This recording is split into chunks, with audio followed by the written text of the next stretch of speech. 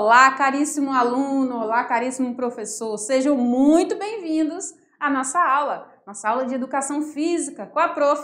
Iris. Sou eu mesmo, vocês já me viram por aí? Não? Eu sou a professora Irislene, professora de Educação Física. Estarei com vocês aí em várias aulas, certo?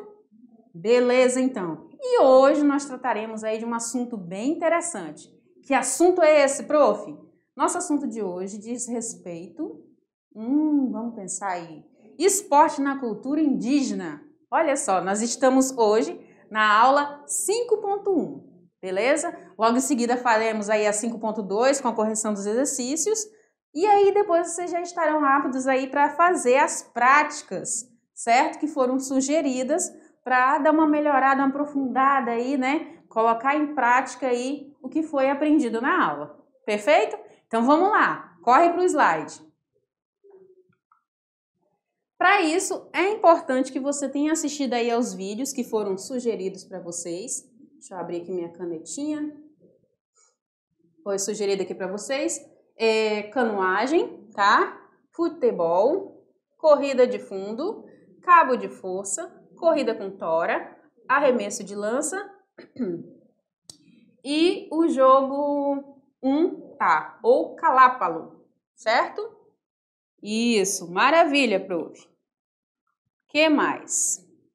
Isso aí tudo, gente, é pré-requisito para nossa aula de hoje. Perfeito? Maravilha, então. Então, essa é a nossa temática. Vou trocar aqui a canetinha para a gente ficar, visualizar melhor, né? Nossa temática, esporte na cultura indígena. Bacana, né? Beleza, prof. E o que teremos de agenda, prof? Na nossa aula, nós teremos aí de agenda os conceitos, tá? E aplicações na cultura indígena. Também veremos aí algumas brincadeiras tradicionais indígenas. Olha, tá ficando legal, hein?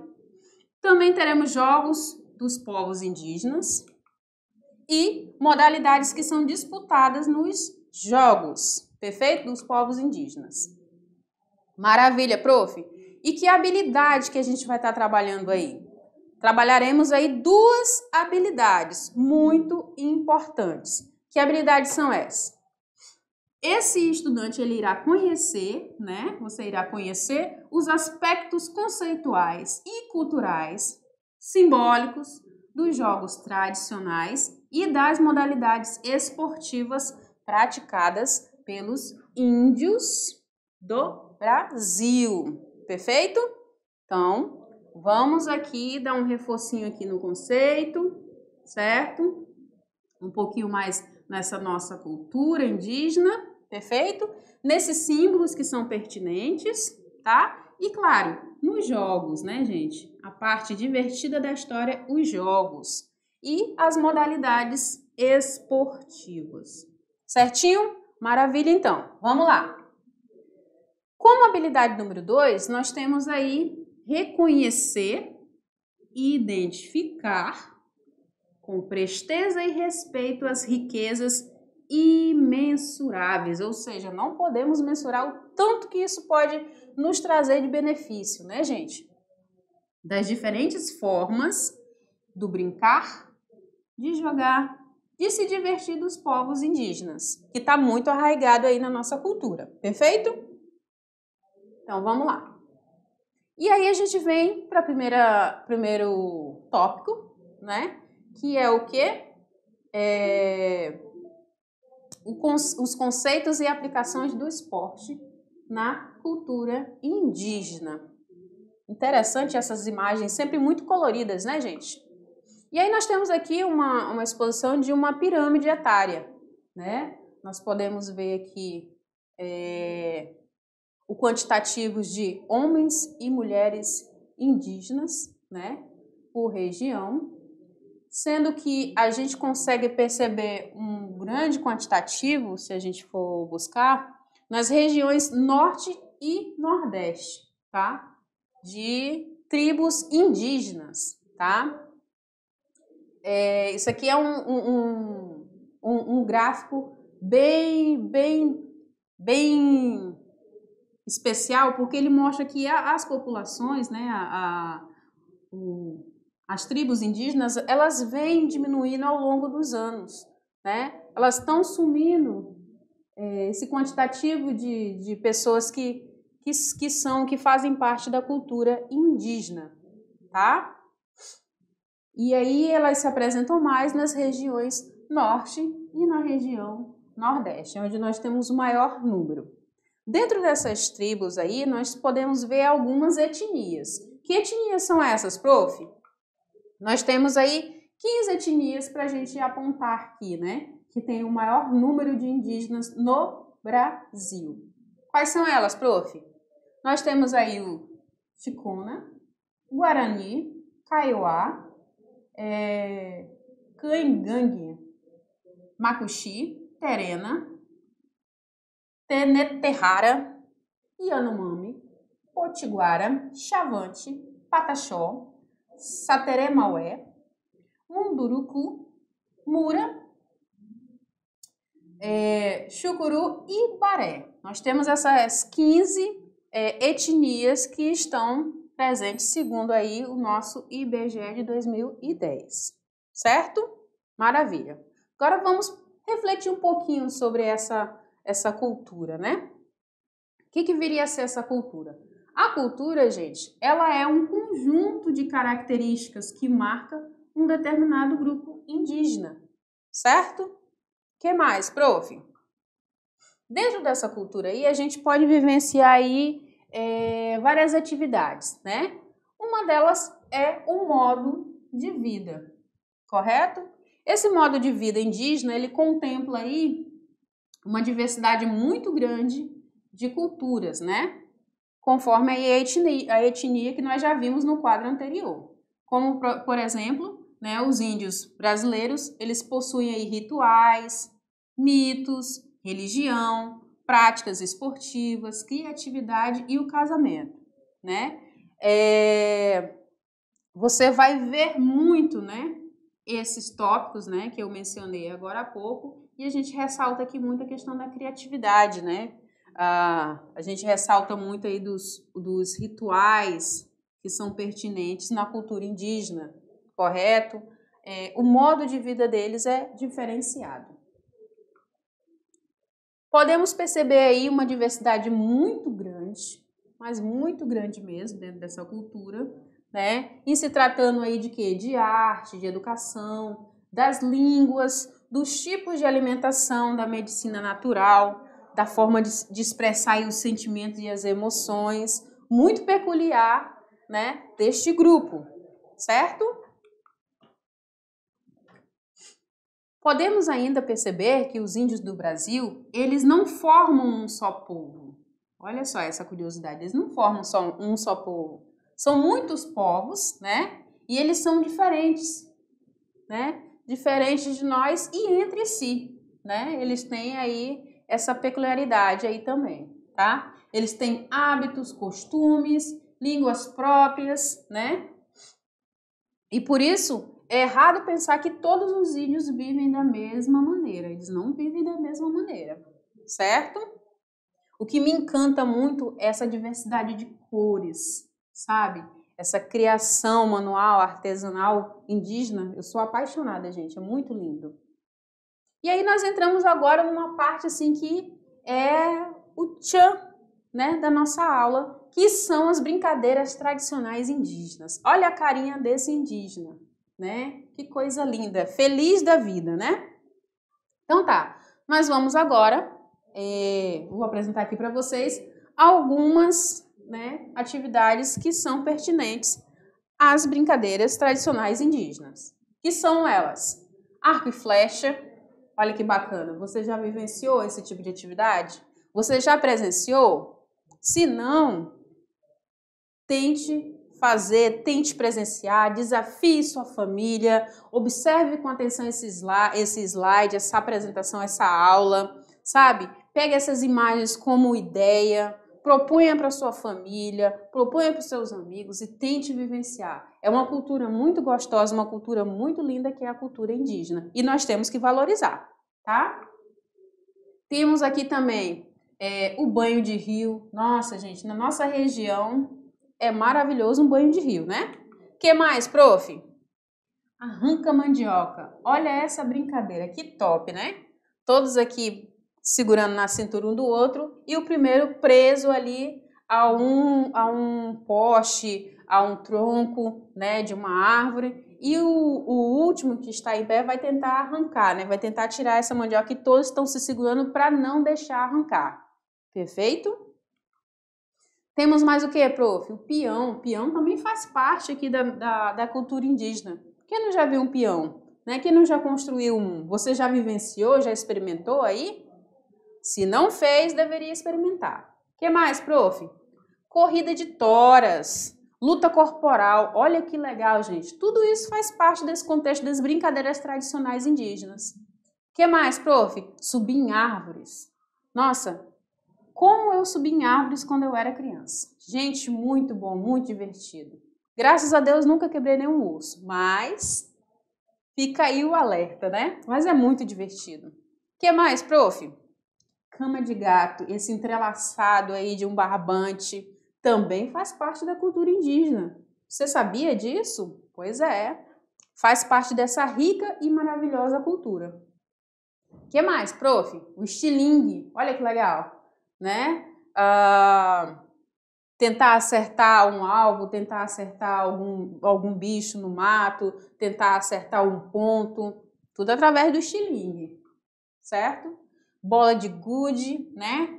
É, alguns já devem ter brincado, talvez até nas aulas de educação física, aí talvez no ensino fundamental 1, na educação infantil, já deve ter vivenciado. Se não, tente experimentar Tente perguntar dos seus pais, que eles com certeza vão saber e vão poder contar um pouquinho da experiência deles com bolinhas de gude. Normalmente são com bolinhas de, de terra, né? Bolinhas de barro, né? Produzidas. E aí ela industrializada tem aquelas bolinhas de, de vidro, né? que mais, prof? Temos a peteca. Essa daqui, quem nunca jogou uma peteca, né, gente? Feito aí com, com palha de milho, com alguns grãos é, com, com penas de aves. Maravilhoso, né, gente? Que mais, prof? Temos aí o biboque, o riboque, né? E você vai tentar aqui fazer o movimento e tentar acertar dentro do buraco do curriboque, tentar encaixar. E aí, nós temos também o cabo de guerra ou cabo de força, certo? Quem nunca brincou aí de disputa né? Quem nunca brincou aí de disputa? Deixa eu vir aqui com vocês, que faz um, faz um tempinho aí que vocês não me veem, me coloca aí na tela aí junto, que eu quero entrar aqui junto com, com os alunos. Então, a gente pode vivenciar aí várias, né? Várias brincadeiras aí que são pertinentes da cultura indígena. A gente viu o biboquê, bolinha de gude, é, banho de rio, né? A peteca, né? Esse último agora aqui, o cabo de guerra, né? Então tem uma variação muito grande dessas atividades que a gente pode fazer, que a gente pode experimentar. E eu aconselho você, se você nunca experimentou, que eu acho muito difícil, morando na região amazônica, não ter feito alguma dessas práticas, né, indígenas, né? É muito difícil, porque essa cultura é muito rica, ela é muito vasta. O modo de vida deles assim é encantador, certo? E vocês puderam perceber aí que tem várias etnias, né? A gente pôde presenciar aí na aula pelo menos 15, né? Podemos também ver aí que, tinha, é, que eles estão mais presentes na região norte e na região nordeste, né? E que ao longo dos anos tem se aí afunilado essa pirâmide que está sumindo os índios, né? Estão diminuindo essas populações, está diminuindo é, o quantitativo dessas tribos, né? E a gente tem que preservar, a gente tem que incentivar essa cultura. Agora, nós vamos assistir aí a uma matéria jornalística sobre o esporte na cultura indígena. Fica antenadinho aí, presta atenção. Vamos lá? Olá! Quando pensamos nos povos indígenas, o que vem à sua mente? Eu aposto que a oca, as danças, o artesanato, a pesca ou até mesmo as pinturas corporais de cada etnia. Os indígenas possuem uma grande riqueza cultural e no meio dessa diversidade de cultura está o esporte praticado por eles. E olha que alguns a gente conhece muito bem. Mas vem cá, você conhece algum esporte indígena? Não conheço. Sim, eu conheço. É a canoagem. Sim, sim, conheço arremesso de lança. Não conheço nenhum aqui. Eu conheço um. Acho que é arco e flecha. A canoagem é um esporte tradicionalmente indígena. Se você assistiu aos Jogos Olímpicos, com certeza viu que a canoagem está presente nas competições. O tiro com arco e flecha é o esporte indígena mais popular e está presente nas competições olímpicas desde 1972. A corrida de tora se tornou uma grande atração. As equipes devem carregar uma tora de madeira que pesa cerca de 120 quilos. O arremesso de lança é o esporte que consiste em arremessar o mais longe, a contagem dos pontos é feita com esse critério. A lança sempre foi usado como artigo de caça e da própria defesa dos índios, mas nesta modalidade ela é exclusivo apenas aos homens. O cabo de guerra já foi muito utilizado nas escolas como uma brincadeira. Essa modalidade exige muita força e ganha a equipe que conseguir trazer a fita até o seu campo. O Chico Narrit é o esporte onde a bola só pode ser tocada com a cabeça se assemelha muito com o futebol. Essa modalidade veio dos parecis, salumães, irantes, namaidês e enauenauês, do estado do Mato Grosso. O roncran é o esporte coletivo e tem muita semelhança com outro esporte chamado hóquei. No roncran se utiliza uma bola de coco. A finalidade é rebater até ultrapassar a faixa do grupo adversário. Esse esporte é tradicionalmente paraense da tribo Caiapó. A luta corporal dos indígenas não é em formato de competição, porque cada tribo tem a sua própria técnica. Uma dessas lutas corporais é o uca-uca, praticado pelos povos indígenas do Xingu. Neste esporte, os atletas ficam de joelhos e giram no sentido anti-horário. A finalidade é levantar o adversário e derrubá-lo. Ganha quem permanecer por cima. Um esporte bem diferenciado tem como arma a zarabatana, que é feito com tubo de madeira e são soprados pequenas setas em direção ao alvo. Ganha quem atingir o alvo mais vezes. A peteca é um jogo bem conhecido no mundo das brincadeiras infantis e também tem origem indígena. A finalidade da brincadeira é lançar uma peteca para o outro e quem deixar cair, perde. Aqui foram alguns dos esportes praticados pelos povos indígenas, cada um com a sua cultura, mas todos com um objetivo em comum: promover a integração entre eles. Agora fiquem atentos à aula e até mais! E aí, gente, vocês viram a quantidade, a, a imensidão de atividades que tem de prática relacionada aí com a cultura indígena? Nossa, tinha algum que você não conhecia? Gente, é uma maravilha, né? Dentro da escola a gente pode vivenciar muitas dessas práticas. Agora a gente vai estar tá vendo aqui os jogos dos povos indígenas. E aí, né, focando, reforçando um pouquinho mais nisso, eu pergunto para vocês, né? Quando a gente pensa em competições esportivas, o que vocês pensam, né? Normalmente, né, vocês vão pensar aí, né, em competições que normalmente são o quê? Esse, esse avatarzinho aí é a prof, tá? Vocês pensam em Copa do Mundo, vocês pensam em Jogos Olímpicos, né? Vocês pensam, por exemplo, em, em Olimpíadas de Inverno, certo? Mas, prof, na cultura indígena tem algum tipo de competição? Tem, tem sim. Nós falamos aí, né, do, do dos Jogos dos Povos Indígenas, tá? Ele é o que? Ele é organizado aí por um comitê intertribal indígena com apoio aí do Ministério dos Esportes. Então agora não fica mais aí com essa dúvida. Dentro da cultura indígena também tem competição esportiva, certo? Então agora o nosso pensamento agora vai ser outro. Nossa, que práticas que eu gostaria de vivenciar dentro dessas competições, né? Então tá certo. Vamos lá então. E aí a gente pode ver que de, nesses jogos da, é, dos povos indígenas, é, eles seguem aí um mote, né? Eles seguem uma linha muito interessante, que para eles o importante não é competir, e sim celebrar. Olha que bonito, gente. O importante é celebrar, estar ali para celebrar. Legal, né, gente? Pois é, quando pensar em competição esportiva, lembra aí que na cultura indígena tem aí os Jogos dos Povos Indígenas, tá? Nós temos aí Copa do Mundo, Jogos Olímpicos e Olimpíadas, eles têm os Jogos dos Povos Indígenas. Perfeito? É, Para participar desses jogos, né, é, é interessante levar em consideração algumas, algum, alguns tópicos, como as tradições, né, a língua, a dança, os rituais, os cantos, a pintura né, corporal, o artesanato e os esportes tradicionais, né, gente? Maravilha, prof. Olha que legal, estou aprendendo mais um pouco. Muito bem. E é interessante notar que nessas sedes, né, normalmente acontecem onde, prof? Em locais afastados, né, das grandes cidades, contrariando aí a lógica dos grandes torneios, né, que a gente conhece. Tá? É, eles são totalmente coerentes, né, com essa proposta indígena. Então, faz-se aí em locais afastados. Perfeito?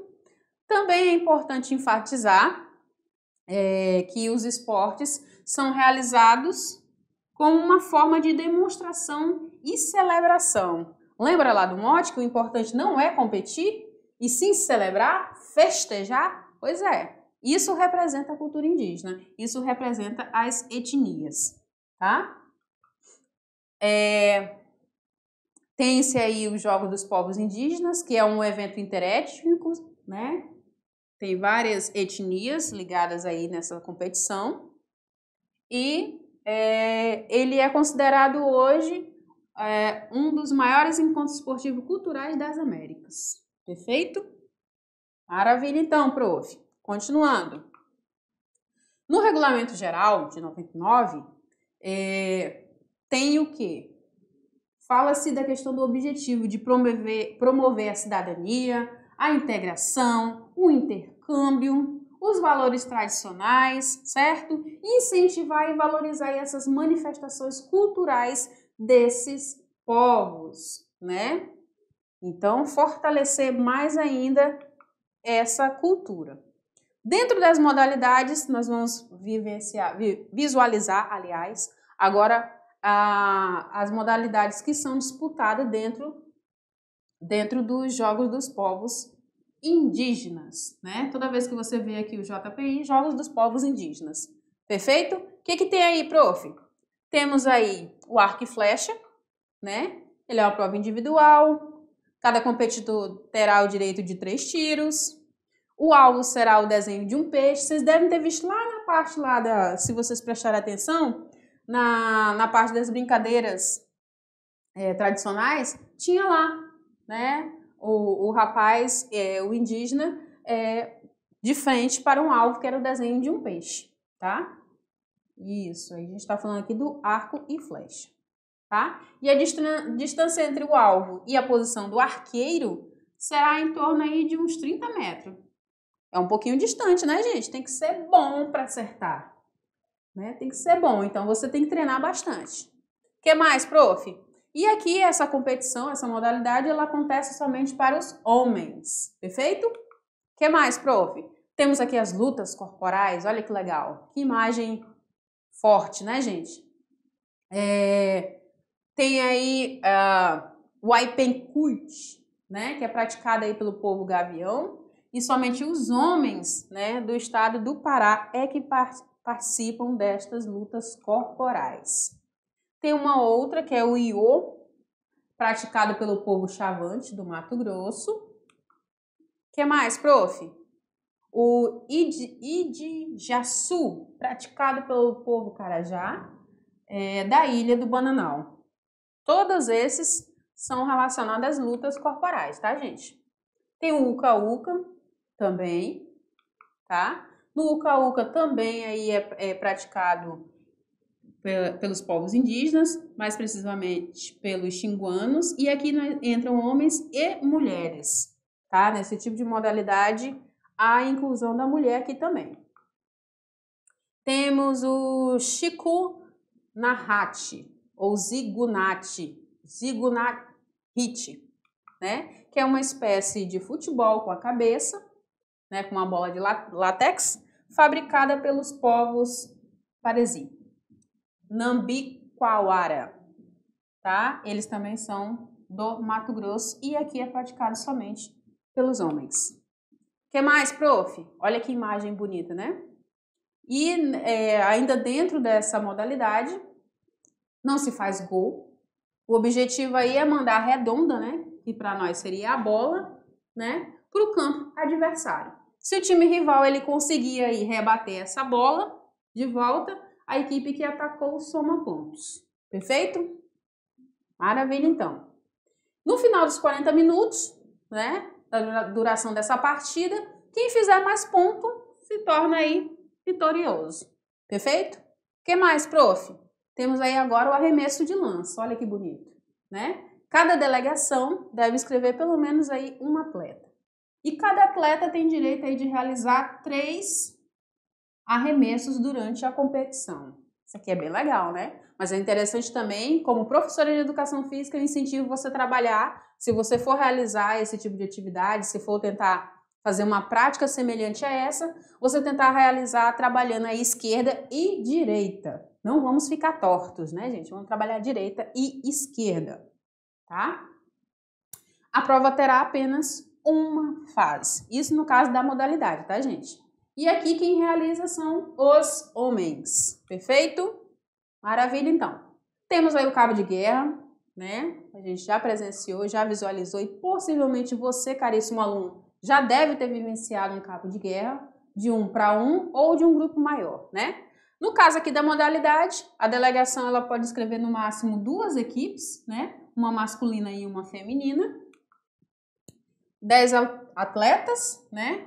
E dois reservas para cada uma. Perfeito? É, a eliminatória aqui ela é simples, né? Em todas as fases, até chegar aí na equipe vencedora. Perfeito? Ótimo, prof. Temos ainda as corridas, tá? As corridas acontecem de 100 metros, deixa eu trocar aqui a canetinha, é 100 metros, 400 e 500 metros, perfeito? O que mais, prof? De 400 metros, homens e mulheres, de 500 apenas os homens. Tem a corrida de tora, imagem bonita, né, gente? cultura indígena ela é muito linda, muito colorida. Eu sou suspeita em falar que eu amo cor, não é à toa que meu nome começa com íris. Lembra logo de quê? De arco-íris, né, gente? Eu sou apaixonada por cor. É... No caso aqui da corrida de toras, os competidores eles devem completar duas voltas na pista, certo? Dentro da arena e acontece aí com homens e mulheres, perfeito? Essa tora aí é bem Pesadinho, hein, gente? Agora imagina a próxima que a gente vai, vai ver agora. O João Parte. Olha o tamanho dessa tora, gente. Olha o calibre dela. Olha o diâmetro. Muito grande, né? Imagine o peso. Então, aqui nós temos o uso de toras com peso superior a 100 kg de diâmetro. 100 kg e um diâmetro de mais de 1,60, aliás, né? E eles podem ser carregados aí por dois atletas. Pense, gente, na força que faz. Concentra no abdômen, concentra aí e vai, né? Leva essa tora. que mais? Temos futebol masculino. Isso aqui já é bem conhecido nosso, né? No caso, é, com 18 atletas, as regras são aí de, é, relacionada à Confederação Brasileira de Futebol, a CBF. que mais, prof? O tempo aí é no mínimo de 40 minutos, né? Duas vezes de 20, com 5 de intervalo. que mais, prof? Temos aqui o futebol feminino. Futebol feminino. Aqui, ao contrário do masculino, são 15 atletas, tá? As regras também estão aí relacionadas à CBF. que mais, prof? O tempo de jogo também é de 40, duas vezes de 20, e aqui o intervalo é um pouquinho maior, 10 minutos. Perfeito? Temos também a natação, ou a travessia do rio, né? Essa modalidade aqui ela é individual, né? Tem que ter um preparo e tanto, hein, gente? Você daria conta de atravessar um rio? Eu, por enquanto, ainda não. Você dá conta? Será que o, o, o, os, nossos, os nossos colegas de sala, os nossos familiares dariam conta de atravessar aí o rio? Pois é. é no caso aqui, acontece du, é, duas largadas, uma na prova masculina e outra na prova feminina. Perfeito? Temos também a canoagem, tá? Essa canoagem é uma prova realizada em duplas, tá? Em duplas. A parceria, né? A dupla aí que é vencedora, ela é identificada aí pela arbitragem. Pelo que, prof? Pela passagem da ponta da proa. Então aqui, né? Vou até mudar aqui a canetinha. Vou colocar aqui um amarelo. Passou a ponta da proa, a dupla se torna, se sagra aí vencedora, certo? Fica ali o, o, o a arbitragem muito atenta para perceber se a ponta da proa passou primeiro, certo? E aqui é realizada somente pelos homens. Maravilha, prof. O que mais? Peitran, né? Aqui o jogo, a modalidade com a peteca, né? Com a palma da mão, onde os jogadores tentam manter a peteca o máximo de tempo possível no ar. Isso aqui é uma vivência maravilhosa, né, gente? É, temos aqui, né, dentro dos Jogos Abertos da Comunidade Indígena, o Jaci, em Rondônia, né, que ele foi criado por meio da Lei 43, 46 de agosto de 2018, tá? É, qual a relevância disso, professora? É fomentar a cultura de paz, é incentivar, é valorizar, é fortalecer a prática dos esportes tradicionais nas comunidades indígenas. Vou até trocar aqui minha canetinha de novo, tá? Então, reforçando, incentivar, valorizar, fortalecer a prática, esportes tradicionais na comunidade indígena, perfeito? E aí, dentro dessa base legal aí da Lei 6.001-73, tá? É conhecido aí o Estatuto do Índio, certo? No seu artigo 3 da Lei Complementar 775, de 2 de junho de 2014. Também está inserido aí o artigo 231 tá, da Constituição e o artigo 31 da Declaração da ONU dos Direitos dos Povos Indígenas de 2007. Perfeito? Qual a finalidade disso tudo, prof? A finalidade disso tudo, claro, né, gente? A gente falou lá no início, é celebrar. Celebrar o que, prof? A cultura, né? Integrar aí os povos indígenas, certo? Maravilha, prof. que mais? Propiciar a comunidade indígena a divulgação, isso aqui é legal, né, gente? Autônoma e democrática de suas manifestações esportivas e tradicionais. É interessante aqui também fomentar né, essa criação, a formação, a promoção, a difusão, a produção, haja ão, né? Tudo com ação, gente. Vocês prestar atenção, né? Isso, até rimou agora de novo. De bens, de serviço, de expressões artísticas e culturais brasileiras. Né? Valorização de verdade, gente. Que mais, prof? Interagir aí com as demais áreas afins para que elas possam contribuir com a proteção aí dos povos indígenas. Que essa cultura não acabe, né, gente? Que ela continue, que ela permaneça pela eternidade, né? E eles é, com ações sociais, de saúde e de meio ambiente, perfeito? E aí tem uma listinha de atividade, de modalidades que a gente pôde visualizar aí anteriormente, né? Lembrando do arco e flecha, arremesso de lança, cabo de força, canoagem, corrida de 100 metros, é, corrida de 5 mil metros, futebol, corrida de tora, natação, voleibol, tá? Então, isso aqui são práticas. E agora, nós temos aqui um momento diferenciado. Eu aprendi essa frase até com, com, com um colega meu aqui de trabalho, que ele fala muito isso, gente, tá? Me coloca aí naquele nosso fundo padrão da pista Isso, olha só, apareceu, fez uma mágica. Tadã! Apareceu uma pessoa. E quem é essa professora, prof? Apresenta. Esse aqui é o nosso colega aqui de estúdio, Mazinho, tá? Ele é cinegrafista. Correto, ele é nosso cinegrafista. E aqui ele veio me dar um apoio. Mas o que, que ele vai fazer, prof? Pois é, agora nas nossas aulas nós temos aí, vou pedir até para o nosso, pro nosso editor ali no, no, no estúdio, colocar para a gente, para vocês visualizarem o que, que vai acontecer agora. É a hora do projeto Mexa-se, coloca para mim aí. Olha só que legal. Esse é o nosso momento. Esse é o momento que a gente vai fazer uma prática durante a nossa aula. Vocês ficaram aí, coloca a gente no cenário, por favor. Isso, dentro desse plano aí. Olha, já até mudei. Viu só? Estamos numa quadra agora. Olha que legal. Esse projeto Mexa-se é onde você vai poder sair um pouquinho aí da sua cadeira, né? Você ficou me acompanhando, me ouvindo, fazendo anotações. Agora é o momento que a gente vai se divertir um pouquinho.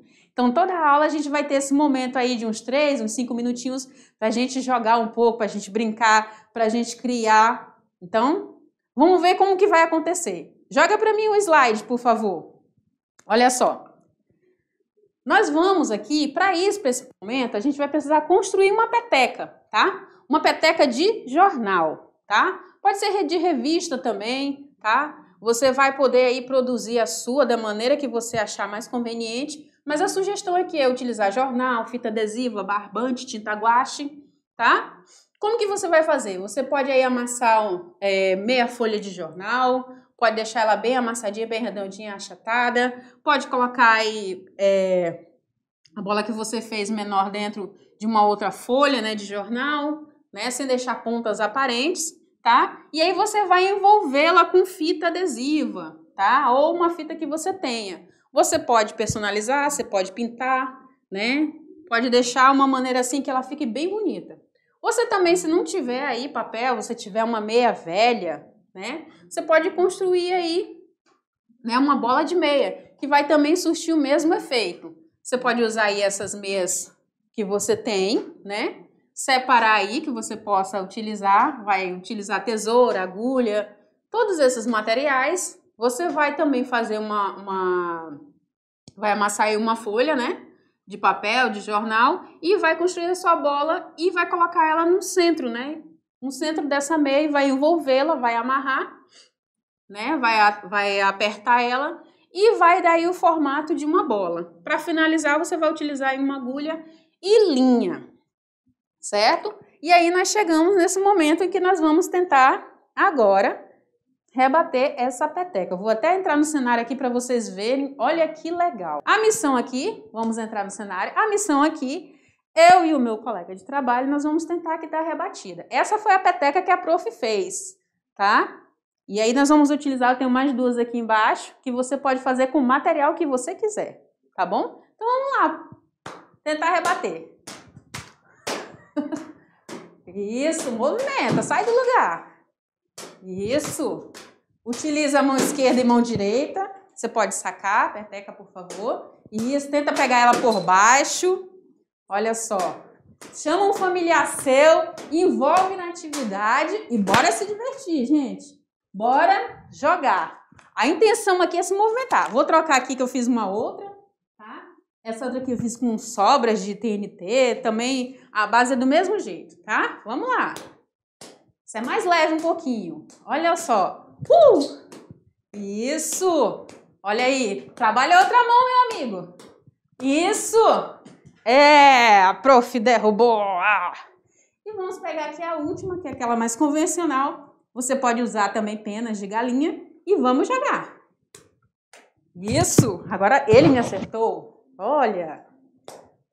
Isso! Esse é o momento mexa-se. Saia da sua cadeira e vá movimentar. Até o meu editor tá com vontade de jogar agora, ó. Tô vendo ali. Uh! Isso! É isso, gente. Nós ficamos por aqui. Agradecemos aí. Eu vou mostrar para vocês aí a, a, as referências.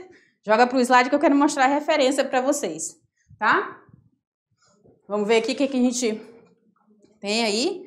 Lembrando, né, antes da referência, que nós temos aí que respeitar essa cultura indígena, linda e maravilhosa, tá, gente?